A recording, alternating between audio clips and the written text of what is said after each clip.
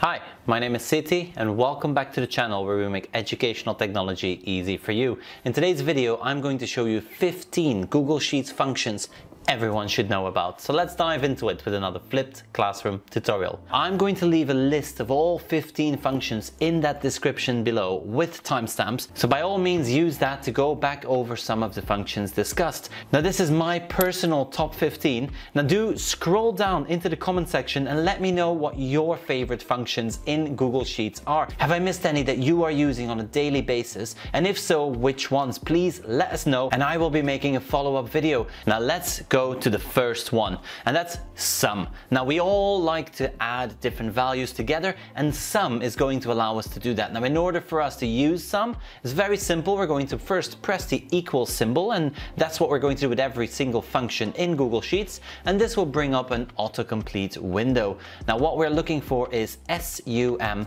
sum, and then you will select the first sum. Now what's great about Google Sheets is that it opens up a little dialog box that gives you more information about which functions and how to use these functions. Now sum is one of the easiest ones to use. You simply highlight all the values you'd like to see added together, you close your brackets and then you simply tap enter.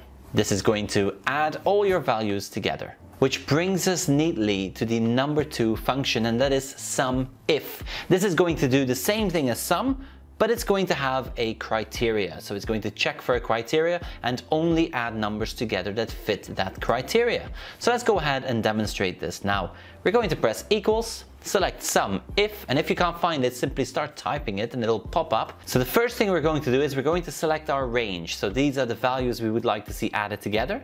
And then we're going to add a comma. Now this comma allows us to go into the second part, and this is the criterion. This is what is going to be used to check if we're going to add it together or not. And what we can do now is we can add a range of different things. What I'm going to select is the greater than. So let's go ahead and open up our quotation marks. We're going to add greater than 10 and then close that. We can close the brackets and enter. Now only the values greater than 10 are going to be summed or added together. So this is sum if. This is great for when you've got results or test scores or you'd like to see some different groups added together. Now the third function in my top 15 list is a three-part function because there are three different functions and they all do a similar thing. Now what it does is it takes strings or text information and it's going to merge it together or bring it all together. So for example, if we have a name and a sentence, we can then put that name into the sentence. Now you can either use concatenate, join, or text join. Now let's start with concatenate. Now we're going to press equals and then concatenate. And what we're doing now is selecting the strings we'd like to see joined. So go ahead and select the cell that has the first string and then press comma. Now you're going to select a second string, but do be aware that if you are selecting another cell and there are no spaces in that cell, these two strings will be merged together into a single word with no space in between. If you do want to have a space, you'll actually have to add in a blank space. Now the way you can do that is by simply opening up quotation marks and then pressing space and closing those quotation marks. You now comma again, and this is where you select your second string. As you can see in our function, we now have three strings. We have our first cell, a blank space, and then a third, which is our second cell. These are going to be merged together, and let's just have a look at the result. We're going to close our brackets and then press enter. As you can see, concatenate takes these strings and they will be merged together. Now the same thing can be done with join. So let's go ahead and open up a join function.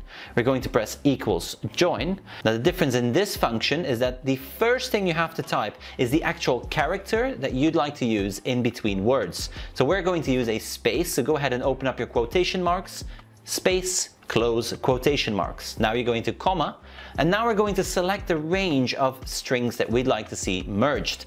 Now it is going to use the character mentioned at the beginning of our function, and it's going to put that in between every single other cell. So let's have a look at the results. We're going to close our brackets and press enter. All my cells have been merged into a single sentence, and in between the words we've used that character. So let's just quickly change the character and see what happens. We're going to add a dash in between the words And by simply changing our function, you can now see that my sentence looks very different. This is how join works. And then the text join, again, starts off with that character you'd like to use in between the words, but there is a second statement that you need to do, and this is a Boolean statement. It's a true or false, and the true or false is asking you, what do you want to do with empty cells. Do you want to skip them or not? So we're going to go with true, we're going to skip empty cells, and then the next one after our comma is going to be our range. So let's go ahead and select a range, close the brackets, and let's see what happens now. Again, we have the same results with that difference that empty cells will be skipped. And this was my number three. And that brings us to the fourth function, and that's count. Now count is going to count up how many numeric values can be found in a range. So let's say that you have a number of scores, you can use the count to find out exactly how many scores have been entered. This is great when you're checking to make sure that everything is in order, that everyone has replied, or a quick way of quickly counting how many values have been submitted. Now count works by simply typing equals count, open up your brackets and then select the range. We're going to close the brackets and press enter. As you can see in this column I have a number of values. However in the other column I have no values. There are no numeric values, only text and strings, so it returns a zero. Which brings us to the next one and that's count A as in count all. So let's see what it does when I use a count A. Now count A takes in all values, not just numeric values. It is actually going to check the entire range and if there is a text in your cell, that's going to count as one value. If there's a number, that's another value, and it adds it up that way. So count for numbers, count A for all values.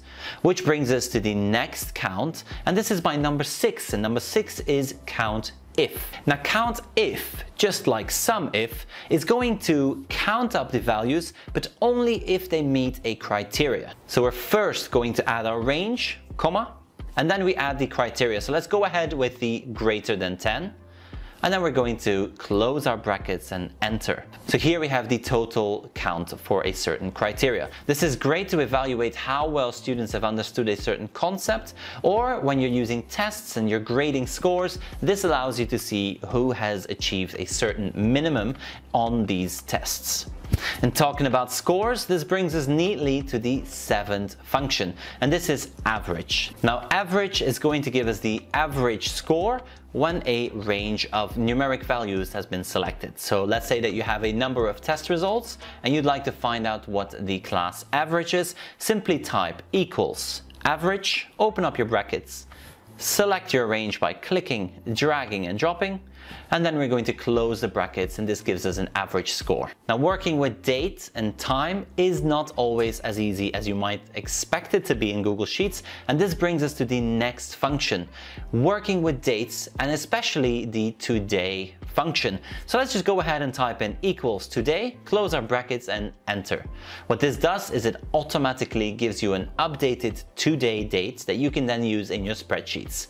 This is great when you're trying to find out how long ago something has taken place, because then you can use this today function to subtract it from a previous date. This way you can find out the difference between today and let's say a test that took place a while ago. Now what is important to note is when you are working with dates, please do use the functions. So after today's function, we're going to move on to the date function. So let's say that you're talking about the 1st of January 2019. Well, let's use that function in order for us to put that date in there. We're going to press equals, then date, open up our bracket. Now the first thing it's asking is year, comma, month, comma, day. Now why do we have to use a date function? Well this is because this way Google Sheets knows 100% of the time that you are talking about a date. It also knows what the month is and you can never get the format wrong. It also allows you to now have interactions between these two cells. So we have a today and a date. We can now subtract these from each other and find out how many days difference between these two dates. Let's have a look at that right now. We're going to press equals and I'm going to type date 2019 first of the first and I'm going to subtract that from today and close that. Now, because it is set as a function, the later in time we open up the spreadsheet, the higher the number or the difference in days will be. Which brings us to the 10th function, and this is the VLOOKUP or vertical lookup. Now the way vertical lookup works is you simply start by typing equals VLOOKUP and then open up the brackets.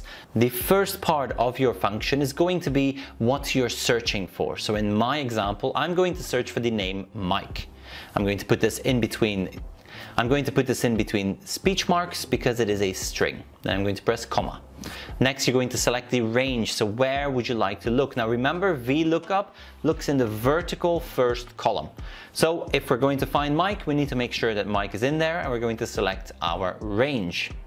Next, it is asking for an index. Now this index is going to tell us which value do you want me to return. And this is going to be the following columns. So you need to look at it as the first column being the index one, and then as we count, we have index two, three, four. I would like to see the results of the second column returned to me, so I'm going to press number two. Then I'm going to close the brackets and simply enter. As you can see, the correct value is returned to me and I can instantly look up a specific value. Great for when you're dealing with prizes, again, results from tests or summative assessments. This is very, very helpful, especially when it comes to interpreting all that data that you've collected on your students. Which brings us to the 11th function, and this is a function that is often mentioned during boot camps and when you're preparing to take the educator exam, and it's the spark line. Many Many of us have never heard of it before until we've actually studied for the educator exam. And the spark line is going to give you a mini chart inside a cell. So let's go ahead and type in equals sparkline and then simply select the range of values we'd like to see reflected in this sparkline. I'm going to close our brackets and now again we get a mini chart linked to our cell and we can easily move it around. Number 12, my all-time favorite and I should have really put this on number one, but Google Translate. Yes, you can use Google Translate in your cells. Let's have a look at how this works. We have a column here in one language, and let's say that this is in English, and I want to translate a cell automatically into Spanish. No problem, we can use Google Translate. Now the way Google Translate works is it's going to take a string from one cell, translate it into a second language and then return that string to a cell. Now you can use this for as many languages as you like and you can even have it work automatically on multiple cells at the same time. Now I will leave a link in the cards at the top and this is where I'm actually using this and then linking it with Autocrat to automatically generate flashcards that you can then use in multiple languages in your classrooms. But Let's look at the basic functionality of Google Translate. We're going to press equals Google Translate. The first parameter is going to be our original text. So let's go ahead and select the cell with the original text. So now that we have our text, we're going to press comma. And then the second parameter is going to be the source language. And yes, you've guessed it right, we can use the language codes. So let's go ahead and put EN for English. Once you've done that, another comma, and this brings us to the target language. Now the target language is again using these language codes, and for Spanish we're going to use ES as in Español. Our function is complete, we can now close the brackets and see the magic happen. Google Translate is working in the background and it automatically translates this word. Now again, as I mentioned, you can have this work automatically for rows and columns by simply dragging this little corner bit down or sideways and is then going to adjust the formula. Now before moving on to the 13th, do scroll down and go to that comment section. Let me know which one has been your favorite so far, which functions are you hoping to see next, and have I missed anything? Let me know and then scroll back up to watch the rest of this video because this brings us to number 13 and this is the character function. Now using the character function, we can pull in bullet points and these all come from Unicode. So I'll leave a link in that description to the Unicode overview. But for now, let's just stick to the bullet points and this is the 8226. So we're going to put in character open up your brackets, 8226 and close them. You'll see as soon as I press enter, what do we get? We get a bullet point. Now, if we want to have text behind that, no problem, we simply add to our function. We're going to add a ampersand or an and symbol. We can now open up our speech marks let's start off with a space and then the word we would like to see bullet pointed. Then we can close our speech marks. Let's go ahead and enter again and you will now see that your word is behind that bullet point in a single cell. Do note that you cannot interpret this as a string anymore because now it is part of a function. In order for you to work with these words elsewhere in your document, I would recommend having them in one column and then having a bullet pointed list in another column and simply hiding the first column. The way you would do that is by using character 8226, close it, ampersand, open up speech marks, space, close speech marks, ampersand again, and then selecting the cell that contains the word. Once you press enter, you will now get that word from that other column. You're going to pull it in and you're going to add a bullet point in front of it. Very useful in some cases, not necessarily in the daily classroom use of Google Sheets. However, what is very useful in the classroom is our 14th function everyone should know about, and that is unique.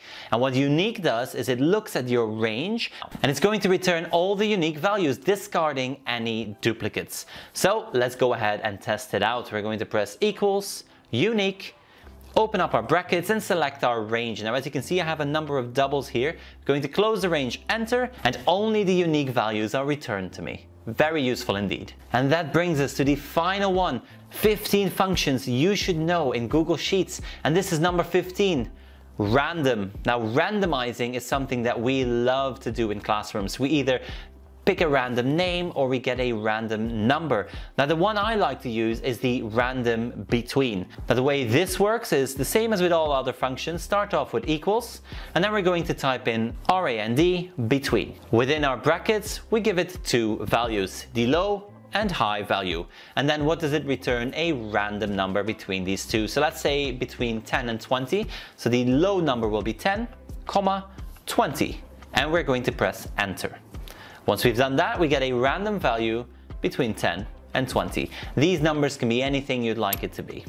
And that is the end of this video. I hope you found it helpful. Do scroll down to that comment section and let me know which function do you use most often and why. Also, which functions have I missed out and are there any functions that you like to use in the classroom that I've completely missed? I'd love to hear your feedback in that comment section. Don't forget to share this out and in the meantime, we have other videos on the channel as well. Thank you for watching and I will see you in the next one.